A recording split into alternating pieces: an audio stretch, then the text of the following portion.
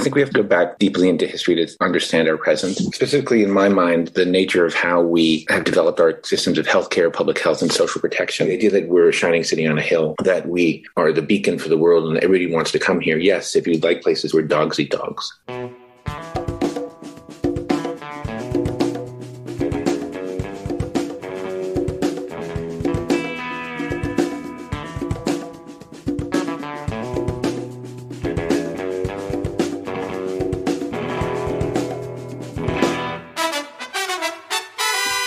Welcome to episode 83 of the Refuse Fascism podcast. This podcast is brought to you by volunteers with Refuse Fascism. I'm Sam Goldman, one of those volunteers and host of this show.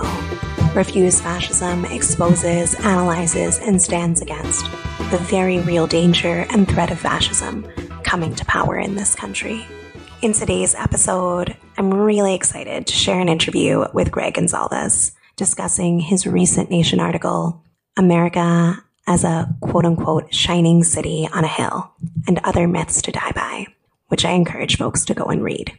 One of the goals of this show is for us together, you included, to deepen our engagement and networking with people and social movements in an effort to forge understanding and relationships aimed at preventing the consolidation of fascism. Some think it can be a disservice to use the F word, but five years later, can anyone really say they didn't know this is a movement hell bent on eliminating the rule of law and democratic and civil rights? And well, folks, that is the defining feature of fascism. If it walks like a duck and quacks like a duck, it's a duck, even if it doesn't have the same silly looking bill. We have to question who is telling us not to say the F word? And why? And most importantly, what is served by refusing to name it and act accordingly? What is strengthened by this continued refusal? So I'm really looking forward to share Gregg's insights with you regarding public health and American mythology. But first, let's talk about some continued developments from this week as they relate to the continued fascist threat. We heard opening arguments in the Ku Klux Klan Act case against the organizers of Unite the Right in Charlottesville between the racial epithets and threats in the opening statements from the fascists and the brutal footage of the violence. You might think it's an open and shut case, but that is almost incidental to the case. All that these avowed white supremacists have to prove is a lack of evidence that they specifically conspired. It is a deep lesson in the inability, in my opinion, of the U.S. justice system to make even a dent in this fascist onslaught. Meanwhile, in Kenosha, where the facts of the legal case are even clearer against Kyle Rittenhouse, we have a judge hellbent on getting the fascist killer off. A judge whose pretrial decisions and decades long career attest to the fact that he's most likely jealous that he didn't pull the trigger himself.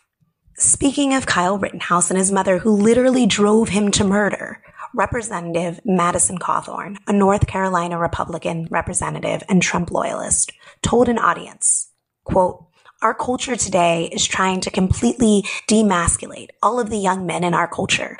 They're trying to demasculate the young men in our country because they don't want people who are going to stand up. All you moms here, the ones who I said are the most vicious in our movement, if you are raising a young man, please raise them to be a monster. End quote. As Chauncey DeVega, writer for Salon, noted in his article covering this, quote, Raising monsters for the fascist movement is one of the main goals of today's Republican Party and its quote unquote family values. Madison Cawthorn isn't the only believer in the big lie and supporter of the right wing coup attempt of January 6th gaining political clout. As reported on by CNN, the dozen GOP quote unquote young guns of the House GOP's most prized recruits for the midterms have perpetuated lethal lies about the 2020 elections, embracing Trump's vicious, deceitful battle cry as they seek to flip the chamber next year.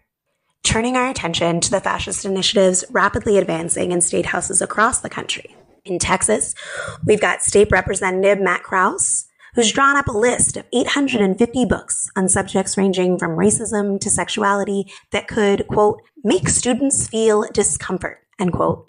He is demanding that school districts across the state report whether any are in their classrooms or libraries, how many copies, and how much money was spent on them.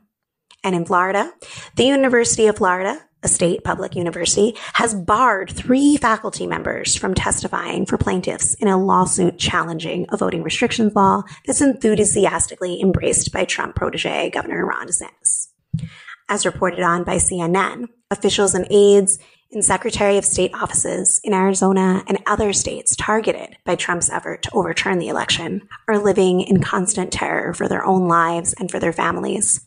There are no budget to monitor these threats or protect them, no systems to fully investigate or back these folks up. After a year of constant threats, including specific ones citing details of violence, these officials and aides are at risk of these threats of violence, only intensifying going into the election.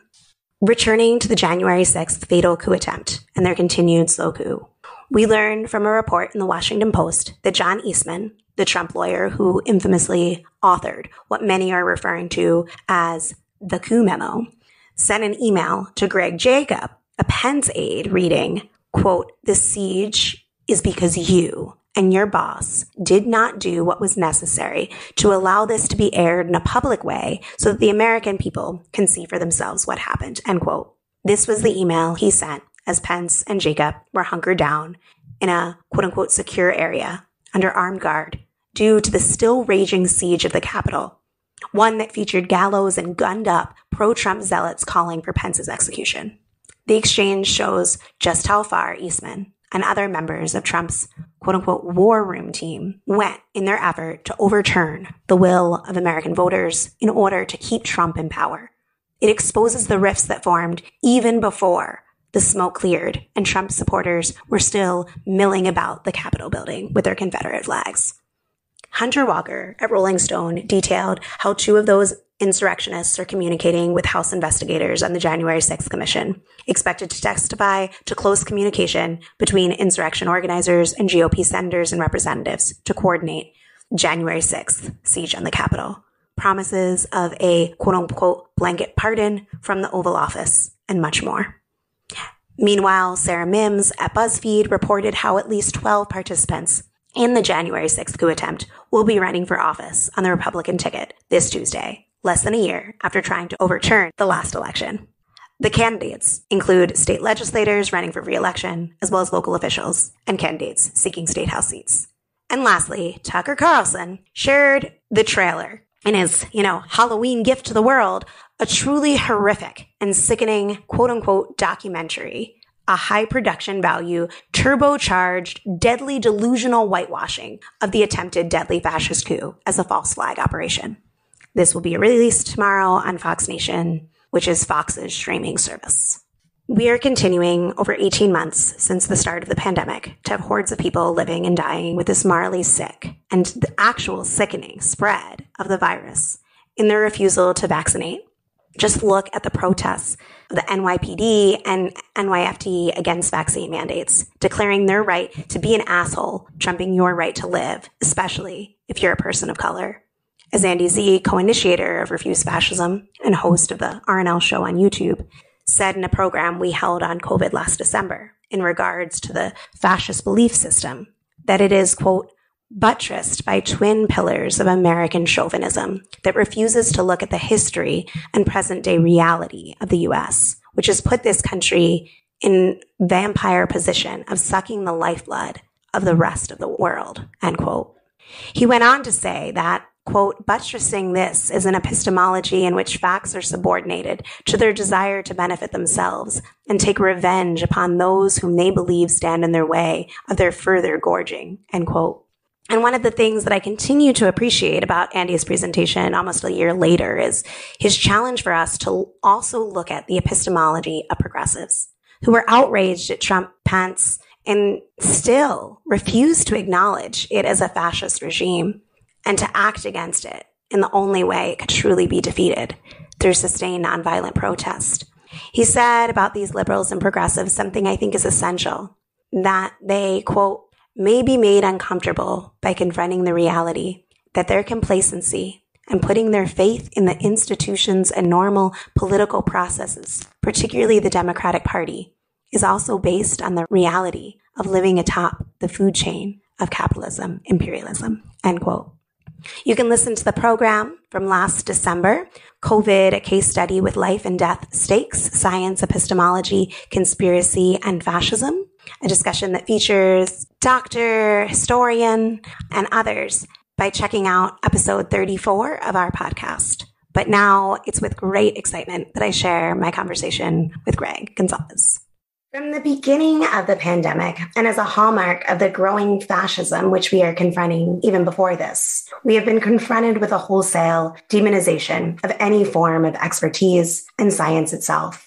When the value of objective truth and reasoning are desecrated, we are left with the value of brute force, money, and power. And not just individuals, but whole sections of society are taken in by unbelievable lies. In a moment where the only way to ignore the vast amounts of death and extreme suffering is to cover your eyes and plug your ears, we have people wearing their vaccine refusal and mask refusal as a badge of honor. The willful violence and terror of continuing to spread this disease is no less real for its buffoonishness. It is a form, in my opinion, of white rage. It's in this moment where I'm really excited to talk to Gregg Gonsalves, who is a national public health correspondent for the nation, is co director of the Global Health Justice Partnership and assistant professor of epidemiology at the Yale School of Public Health.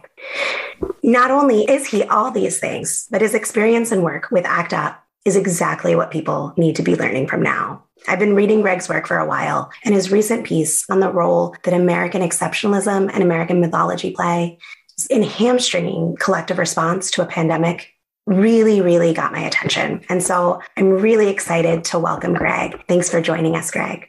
Thanks for having me. So I wanted to start with something that you wrote in your piece for the nation that I believe was a presentation that you gave originally. Mm-hmm. Um, the article for those listening is America as a Shining City on a Hill and Other Myths to Die By, and it will be in the show notes. And in it, Gregg wrote, Perhaps it's time to put myths aside, to face the world we actually live in, not the world we aspire to. There is a task before us, the work of undigging, digging out of our history, not to leave it behind, but to excavate it, display it for what it is, to learn its lessons, and recognize how it can be deadlier than any virus. And I'm wondering if you can talk to us about what do you think we need to be excavating in particular? What part of our history needs to be fully confronted? I think we have to go back deeply into history to understand our present. And specifically, in my mind, the nature of how we have developed our systems of healthcare, public health, and social protection Jeneen Interlandi, who's an editorial writer, wrote a piece in the New York Times 1619 issue, which said, um, "Why doesn't the U.S. have national health care? It has everything to do with race." And that piece, you know, published before the pandemic, um, had a profound influence on on me because it started to tell pieces of history that appear in my Nation article that I had no idea even happened. The smallpox epidemic after the Civil War, which basically got written out of history, you know, was in there. And she talks about how at the turn of the Civil War, turning a blind eye to the to the smallpox epidemic was about a set of theories of black extinction that there were people who were inferior who didn't deserve our help, and even if they did, they were constitutionally unable to survive in, in the modern world. And the idea that providing health care, providing services to, to freed slaves was not an investment that needed to be made. She also talks in that piece about a woman physician, Rebecca Crumpler, who said every disease has a diagnosis and has a underlying pathology. And um, Rebecca Crumpler basically says, you know, we have to excavate those causes. What's happening in the American South and other places that she worked needs to be subject to scrutiny to understand what's going on. Every affliction has a cause. And so my friend Amy Kapczynski from the law school here at Yale and I started writing about the epidemic in Boston Review last uh, year. We, we were confronting two sort of streams of American history that really got us into the hole we were in last last year. We didn't have to end up on the shores of this sort of great catastrophe that we did in 2020 and into 2021. And a lot of that history is tied to our history of white supremacy. And that history is tied to sort of capitalism over the centuries, but also sort of neoliberalism in its, its more contemporary form, which left us basically with a fragmented uh, healthcare system, which really has two classes of people, people who can pay for the care they need and get the best services, and then people who are either uninsured or underinsured or rely on a public system that isn't necessarily the best in the world. And then I think the the sort of absolute disgrace of, of the public health infrastructure in the US, which again is a sense of ambivalence that public health is community health, public health is something for others. which means we spend three cents for every dollar we spend on healthcare, on public health, and then sort of neoliberalism, which drove everything to profit, right? You can't make money on it, what good is it? Um, and so we have a top heavy healthcare system, which is about specialty care, not primary care, not community care. And then you have a pandemic that shows up and takes advantage of all three of those sort of deficiencies in American society and culture.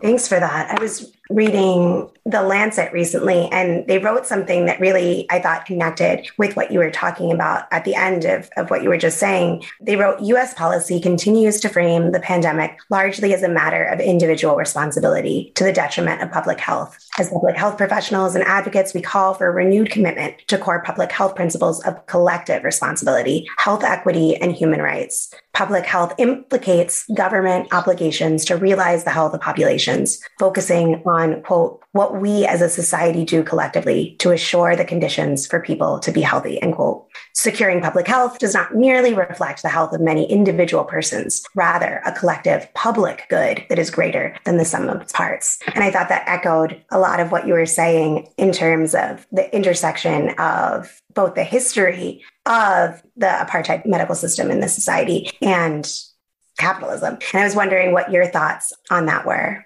Well, you should read The Lancet more often because Richard Horton, who's the editor in chief, wrote a piece, I think last October called Offline COVID 19 A Crisis in Power, and said, uh, the struggle for health is a struggle for human dignity, liberty, and equity, but we must also meet our obligation to question power and its effects on truth, and truth and its effects on power. One important strand of public health is the struggle against objection. So, you know, straight out of the political playbook that probably you and I could agree on. And so Ed Yong from the um, Atlantic wrote a piece two weeks ago about public health roots in campaigning for social reform and talks about how at some point medicine captured public health and made it into a technocratic enterprise. And public health was was trying to ape and mimic medicine which is all about healing us as individuals. Public health has the word in the title. It's about the polis. It's about the public. It's about what we owe to each other, how we keep each other safe. And, you know, it, it was amazing to watch the sort of solidarity that happened at the beginning of the pandemic um, in terms of mutual aid and all these sort of ways in which we tried to stay at home if we could and could afford it to protect each other and protect our families. But we left a lot of people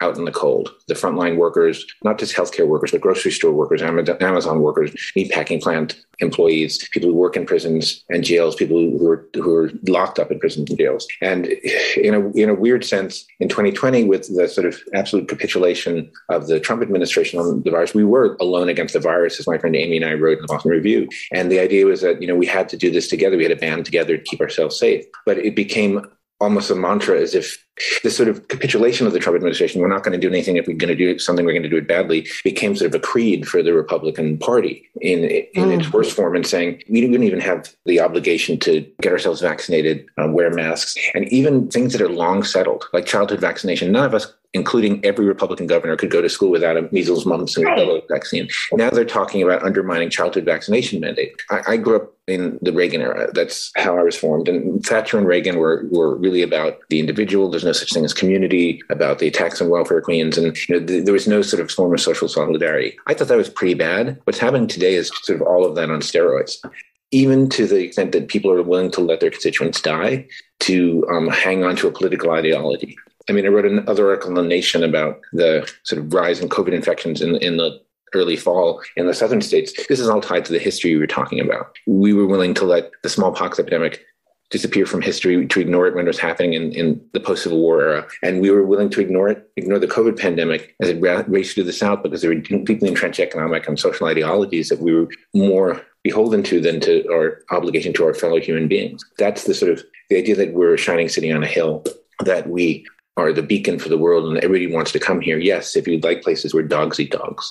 It's extremely heavy thinking about how, you know, on the one side, when the pandemic, we were first really aware and, and in it, I was struck by like how how genocidal it seemed. And like I knew with the Trump regime in power that there was not going to be any rush to the prisons, to the detention centers that they packed our migrant siblings in, or to the communities that were being ravaged the most, which were bl- that black people that they would easily kill off and not care. And I remember being like deeply, deeply struck by the mass dehumanization that like if people need to be disposed, so be it. Keep the economy running. I remember I very inspired by ACT UP and was part with my husband and some friends and starting the dropping body bags at Trump properties. And then I remember there being this shift in noticing that they would kill their own, that all these unvaccinated white folk will also die, and they are Trump supporters. And I, I remember being very confused by why those same people who are supportive of Trump were against a vaccine that Trump's played a hand in. And I was wondering if you had any thoughts on, on, on that dynamic. Well, look, I mean, if you remember the book, What's the Matter with Kansas, people vote against their interests all the time. And I think sociologists and political scientists have suggested that what the um, Republican Party nowadays offers is status and a tribal belonging. And, you know, Lee Atwater said this in the old days we can't talk about race anymore, but we can talk about special rights and who's deserving and undeserving. And our people will hear the dog whistle and know that we were basically saying white makes right and that the, the, threat to you is not from Ron DeSantis or Greg Abbott. It's from your neighbors who, who look different than you, who love different than you, or believe different than you. And so, you know, this has been a strong sort of tribal identification and sort of collective brainwashing that puts people in, into just enormous danger for their own families and their friends as they walk into sort of the full force of the epidemic in communities that are under vaccinated and, and refuse to mask. And, you know, for all the ones that have these deathbed conversions, knowing if I know what I know now, well, you know, the point is, is that you know, for all the ones that we, we hear those stories, if there are plenty who are just dying quietly um, and still believing what they were told on Fox News the, the night before they went into the hospital. So we have a whole culture that's been built up over the past, all of my adult life, basically, that's pushed us away from each other, from any collective responsibility to our brothers and sisters. Tony Judt wrote a book in 2010 before he died of ALS called Ill Fares the Land and says, you know, we've made a virtue out of selfishness, you know, in over the past 40 years, talking really of the Reagan Thatcher era and after it. And that we need to learn the important political questions again. Is, is a law or a policy good or is it just? Will it help people? We have to learn those questions again, he says in this book. But, you know, so what's been happening in, the US has been sort of remarked upon way before the COVID pandemic. Um, but we've never been able to politically organize to get us out of this sort of hellscape that, you know, the second decade, third decade of the century is turning into. I spoke, I guess it was this summer with Wajahat Ali, and he made a really good point that I found echoed in your nation piece. And I'd like to hear more on what you think of this. In talking about the Trumpist true believers, he said, quote, if given a choice between renting a room to a person of color or burning down the house, they will choose to burn down the village. They will die for whiteness, end quote. And I was wondering, do you think that's accurate? And where do you see this going from here, especially in relation to like collective, you know, not individual um, people's decisions, but as a as a larger group? Well, there's a whole book called Dying of Whiteness, right? And it's it's about the same phenomenon you're talking about. I'd rather sort of you know cling to sort of a white racist identity than um, think that I have anything to do with anybody else, whether it's my neighbor or the person down the street or the person across the country from me, if I consider them outside of the fold. And it doesn't necessarily have to do with race. It could it could do with sexuality, it could do with gender, it can do with class. And so this is the kind of sort of narrow tribalism that the Republican Party has become genius at, but now into a cult-like form and sort of an audio homeo genocide sort of form. It's like we're willing to kill our own and do it in the context of states we preside over just because we've drunk the Kool-Aid in addition to the, the one we've, we're serving out to our constituents. And I think that there's also like, it's coupled with that if we need to sacrifice some for this larger goal, so be it. Yeah. You know, I mean, in the piece I read about the American South, I said, you know, you have to break some eggs to make an omelet, right? And this is exactly what they think. Yeah. I, I, I think that we're, that we're seeing that in Florida and Texas very clearly. In the iconic fascist regimes of the past, those that people know, and among many of the most notorious fictional dystopias, the state is all controlling. But in my opinion, part of the cruelty of America is in its contrived neglect the Nazis would kill you, but given the choice, America would rather let you die. And I think it's part of the contract of the deserving and undeserving, or at least they make it seem that way. We're conditioned to believe that this is somehow better in this moment with the pandemic and global warming and cascading crisis on top of another. I was wondering what your thoughts on where you see this going. Well, it's interesting because there's lots of debates about, about whether Trump is a proto-fascist or a fascist, because then it goes, you know, to the comparisons to, to the worst excess of the 20th century and Hitler and Mussolini and the rest. We can just look at the present and not analogize and realize it's just this horrific dystopian realization of lots of kinds of things white supremacy, neoliberalism, capitalism. As you said, in many fascist states, the state is all powerful. Here, the state is all powerful uh, only in, in the context of the military, the police, and the carceral system. In other forms, the state is completely um, weakened and hobbled so that it provides nothing to many other people. If you're in black and brown communities, you may be over policed, but if you're in a poor Appalachian community, you may have nothing, you have very little contact with any sort of part of the state whatsoever in terms of its ability to help you. And that was part of the game, right? You know, the game is like the state can't do any good for you. Um, so you don't need it. Reagan to the nine most scariest words in the English language are I'm here from the government and I'm here to help. The whole idea is to demonize government in its certain form and its social responsibilities, and, in its idea that needs to sort of regulate the economy so that we don't have sort of elites stripping the state for its assets. And, you know, we collapse the state into sort of basically a, a policing military infrastructure with nothing else. And do you see this this changing you know, my friend Amy Kapczynski and I are trying to figure out if we can write a book and trying to think about how do we move towards the politics of care, right? Which we wrote about in the Boston Review pieces, you know, in 2020, in two springs ago. It's time is all strange now. I keep thinking of it as last last spring, but it was the spring before. You know, part of leftist thinking over the past several decades is that you know we get to the promised land and everything's going to be fine, and that you'll feel the burn and Bernie will be elected and like all our problems be solved. Um, and I voted for Bernie, so I'm not making a criticism, but the point is, is that we have an ongoing struggle to, to make um, and you know, even if we get good elected leaders into place, if even if we had a democratic socialist House of Representatives, we're still going to have a struggle to face on an ongoing basis. And the idea is like, you know, there's a famous, um, and I actually quote it in the Nation article. It's not your job to finish the work. It's but neither are you allowed to neglect it. It's from it's old Jewish philosophy and, and religious documents. The point is, is that this, the future is is building out something that we think is better, not with an idea that we we're going to get to a point where like we've overthrown the the Trumpists and the Republican Party and everything's going to be fine and dandy. We're going to always have an ongoing struggle about people who believe in sort of the virtues of selfishness and that they don't have any responsibilities to other people. We have to keep building a society that we want to live in, and it's going to be a struggle we pass on to our children and our grandchildren, and not think of it as sort of a thing that we can solve with quote unquote revolution. It ends up making us into sort of strangely utopians, you know, that are that are mirrored in the Republican Party. That all we need to do is sort of get Trump back into the White House or do this or that, and then you know we will be free. We're not going to be free ever in sort of the context of sort of our own struggle against our fellow men and women because we're not always going to think alike. So ACT UP was great, rise and fell, did some good things. Frances Fox Piven writes this history of social movements, the labor movement, the women's movement, all these things. They have these cycles of ebb and flow. How do we sort of sustain the sort of really 60 year old struggle since Goldwater that the American right has put together that has been relentless? The right reorganized after Goldwater's defeat, and all through my lifetime is basically chalked up victory after victory. And now it's you know it's at a level where it's just you know they're eating their own. But where is our sort of our infrastructure that's could start with the somebody who's born today can wake up in 50 years and said there's been this 50 year campaign to sort of make us into a freer, fairer place. I, I, don't see that happening. I see us sort of atomized and working on different issues. I see us, you know, clinging to electoral politics while some people are saying, no, don't even deal with it. It's totally corrupt by money and you can't do anything. At some point, we have to sort of pull everybody together and say, look, I don't know what it is, but we, you know, we are losing badly. Should we have Trump 2.0 or Ron DeSantis or somebody smarter than Trump in the White House turn out the lights and say goodbye? Because I, I, don't know what will be unleashed. You know, should they regain control of the Congress and the White House again? It would be really, really spectacularly awful. Yeah, there's so much that I unite with and what you're saying about the deep danger that we face and the do or die moment for humanity what you're saying gets me at my core about look at the fascists, look at those most detached from reality, from humanity, and how they are able to marshal their force and sense of purpose and remake the world in their image, if you will.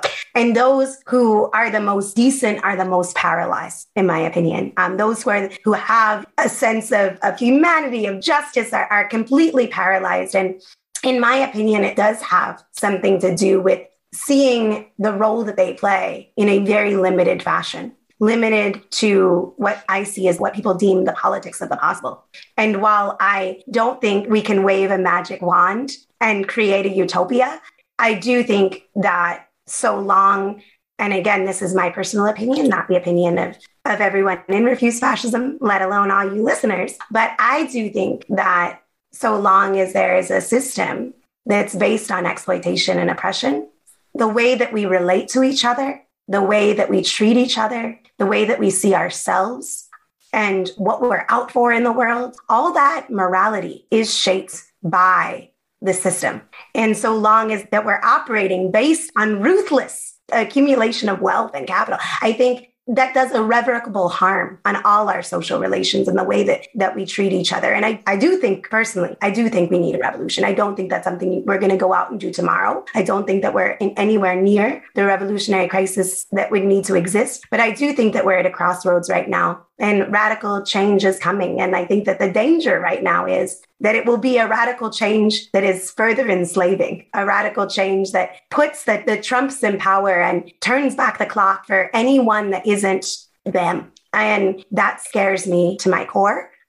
But I do think that there is great potential in all the people who came into the streets around George Floyd I think that there's great potential in all the people that are younger than me, largely it's people that are younger than me that are like, we're not going to have a planet to live on. There's not going to be a global future. I think that, there, you know, there's certain things that give me hope for people lifting their heads to, to think about what are we doing for the future for humanity? But I do think that so long as we confine ourselves to the politics of the possible, we're going to keep living the politics of monstrosity and accepting things that we shouldn't accept. Again, those are just some of my personal thoughts. But I think when I talked about the history that we started with, we, we were going back further. Like we have like a legacy that started when the first boats landed here from, from, from Europe. We're not just talking about fixing what happened when Reagan was elected president. We're talking about much, much further back into our history. And that's what this, that's why the people hate the 1619 project on the right, because it says this is 400 years of, of sort of built-in oppression. And so what are we going to do step by step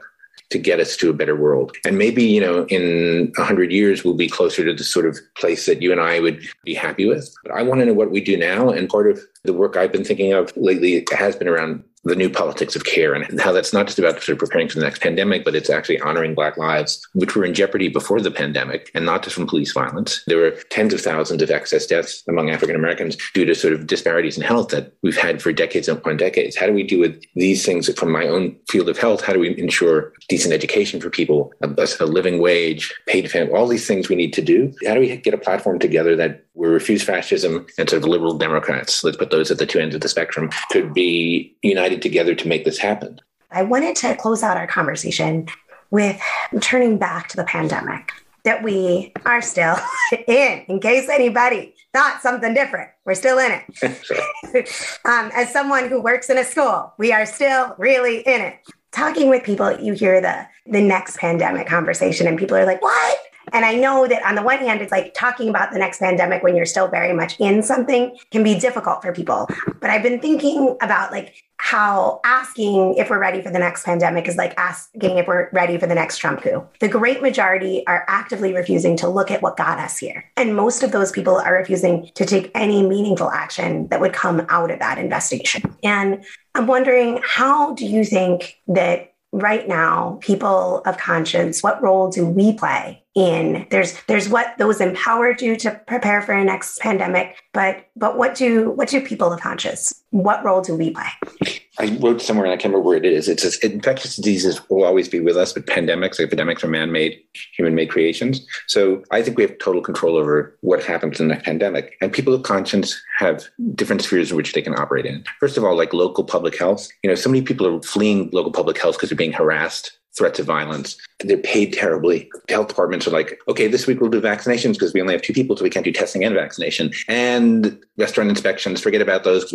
So it's it's about figuring out how to build up local public health, and that means sort of holding mayors and, and city councils to account. And then you go up the chain because we need to rebuild public health from the ground up. It's just been deeply underinvested in, um, and we need to think of that. But you know, health isn't just sort of the public health infrastructure. In public health schools, you learn about the social determinants of health, and so education, taxation, policing, all have something to do with health. And again, these are all things that you can control locally.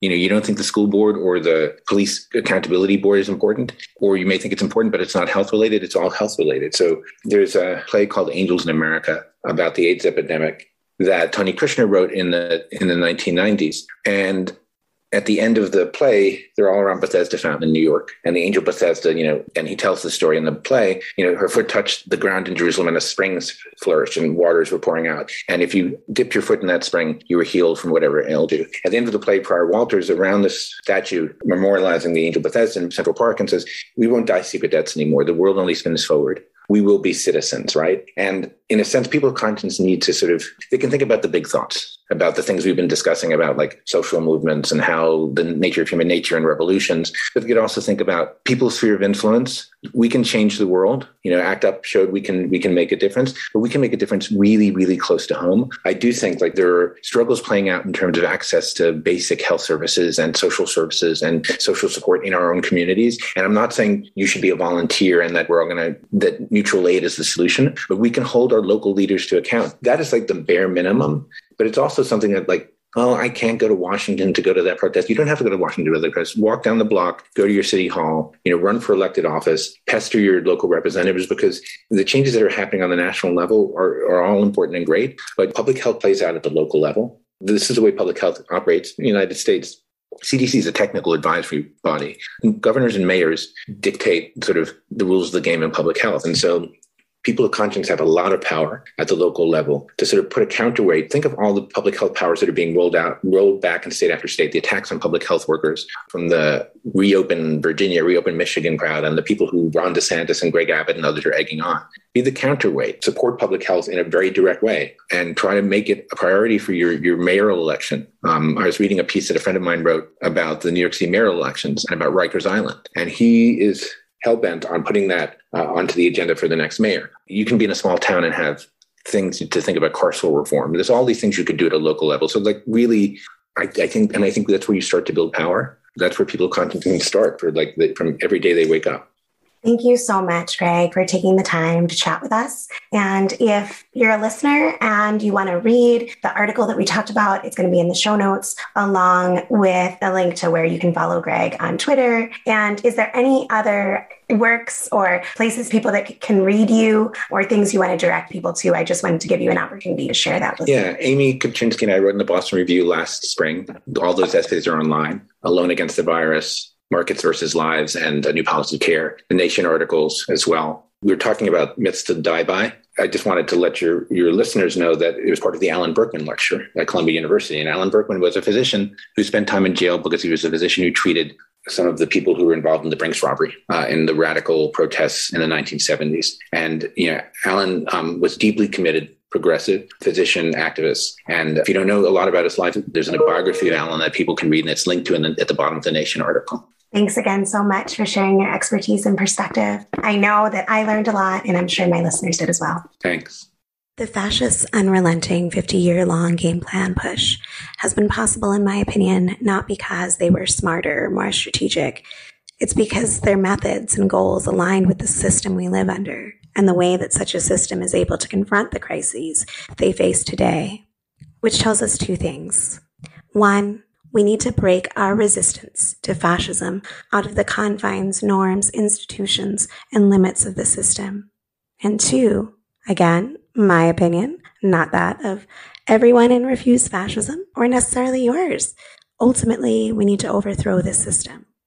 I've heard the line of let's start a long term strategy that starts at school boards and local offices and works our way up. For the 20 years I've been involved in this struggle, and my older comrades have heard it for much longer. But the fact is, we are at a moment where we can't screw around with that much longer because if we kick off our doomed 50 year strategy now, it'll be difficult to take the time to assess its failure underwater between the category seven hurricanes. But it's not only global warming.